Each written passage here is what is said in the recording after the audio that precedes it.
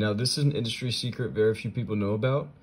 If you want your music to play back better across iPhone speakers and smaller speakers, if your music group looks like this on the vector scope, use a utility to make it look like this. It'll play louder and cleaner.